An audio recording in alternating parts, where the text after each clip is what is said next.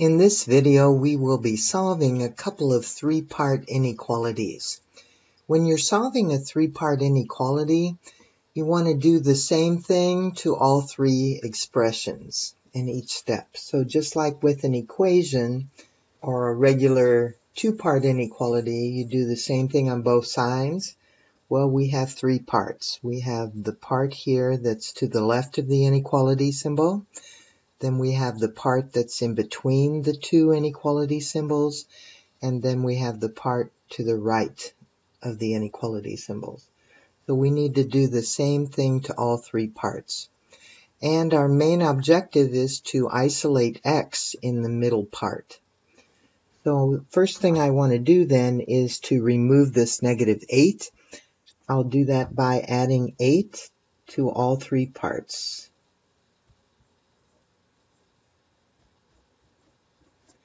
And that'll cancel in the middle part. And I have 1 plus 8 is 9 on this left part, less than or equal to, and then I now have 6x in the middle, and then less than or equal to 4 plus 8 is 12.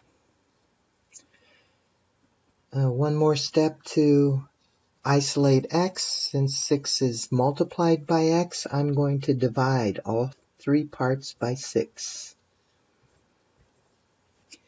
This will cancel, and I now have x in the middle. Um, 9 over 6 simplifies to 3 halves, and 12 over 6 simplifies to 2. So this is the solution to this three-part inequality. x is between 3 halves and 2. Do another one. Now you don't often see greater than symbols in a three-part inequality. It's okay here because you'll notice that this negative 1 is smaller than the 4. That has to be true in order for those to point to the right. So let's just go ahead and work with all three parts like we did on the previous one. Subtract 5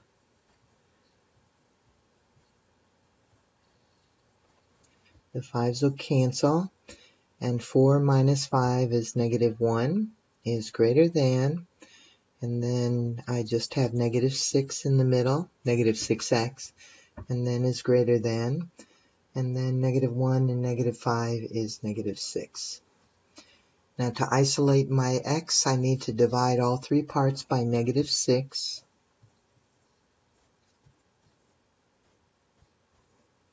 And when I do that, these will cancel and I'll have x in the middle. But remember that when you multiply or divide an inequality by a negative number, you have to change the direction of your inequality sign. So instead of pointing to the right now, I need for those to be less than symbols. And then negative 1 divided by negative 6 is 1 sixth and negative 6 divided by negative 6 is 1.